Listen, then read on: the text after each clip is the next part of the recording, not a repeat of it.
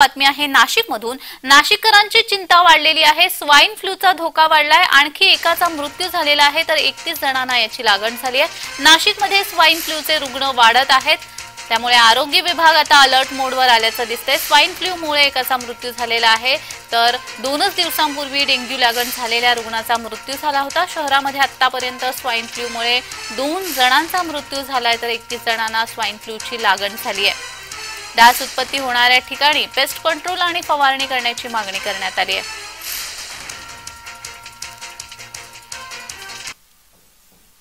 तर या संदर्भात अधिक माहिती देण्यासाठी आमचे प्रतिनिधी किरण गोटूर आपल्याशी जोडले गेलेले आहेत. किरण नाशिकमध्ये स्वाईन फ्लूचं प्रमाण वाढतंय. आरोग्य विभाग कशा पद्धतीने या संदर्भात काळजी घेतोय?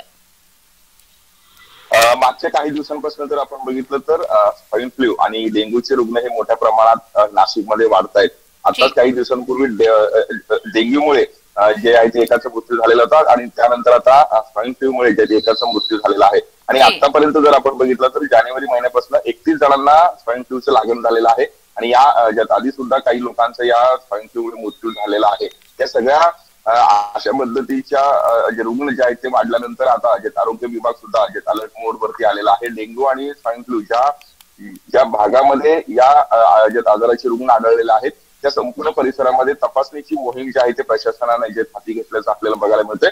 आणि त्याच पद्धतीने पेस्ट कंट्रोल असेल किंवा फवारणी करण्याची मागणी आता स्थानिक लोकांकडनं केली जाते. त्यामुळे आरोग्य विभाग या सगळ्याच्या आजार कशा पद्धतीने आटोक्यात आणतं हे फार महत्वाचं असेल. जी जी जी. किरण आणखी एका बातमीसाठी तुमच्याकडून माहिती अपेक्षित आहे. असे जोडलेले राहा.